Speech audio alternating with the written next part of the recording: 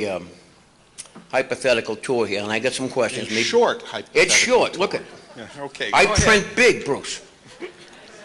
All right. This is entitled What If. I spent a lot of time thinking about that. Mr. Jones, 55, buys a condo outright. He's got that $400,000.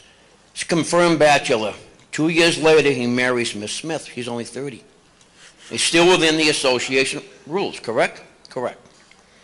After one year of wedded bliss, the new Mrs. Jones tells Mr. Jones, I haven't said anything yet. Dear, we are having twins. Mr. Jones grabs his chest, takes one last breath.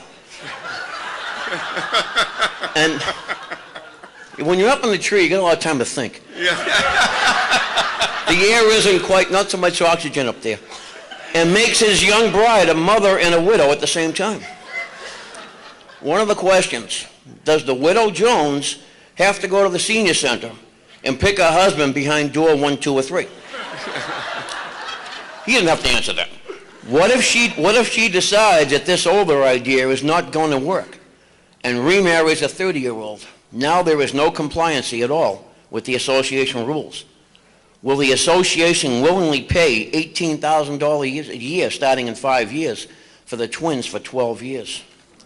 What enforcement mechanism will the condo association, I've heard, it's in the host community agreement, it's in the bylaw, et cetera, et cetera, employ to ferret out violators? Are they going to depend on neighbors to drop a dime at any violators or, over, or any of these 55 rules? Lots of questions could all be avoided. Unfortunately, I can't go along with this. By defeating this article, an ounce of prevention really is a pound of cure. Thank you.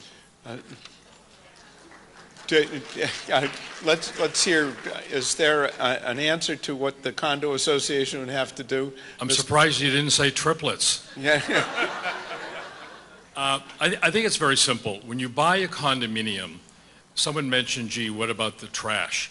Well, take trash as an example. It's in the condominium documents. It's your hunt.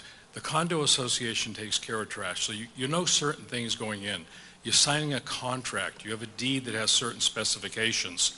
When it says you cannot have children, and oh, by the way, you end up having children, well, you have a couple of options. You can move, you can make other arrangements. You may have to use a private school. I don't know what the case is, but understand that you'd be in violation of an agreement you made if you have children living with you using the school system.